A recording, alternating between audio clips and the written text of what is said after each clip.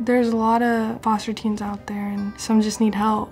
Families that want to take teens are always hesitant about it because they hear teen, and each family should give teenagers a chance.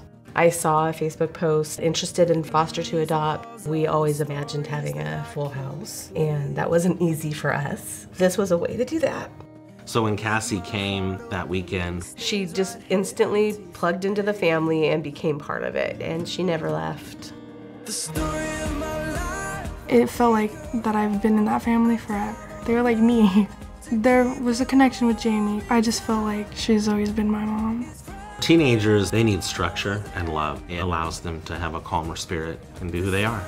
When my kids do things for each other, that brings so much joy to my heart. Like, that's our family. Make fostering part of the story of your life. Visit fostermore.org to become a mentor, a parent, a friend.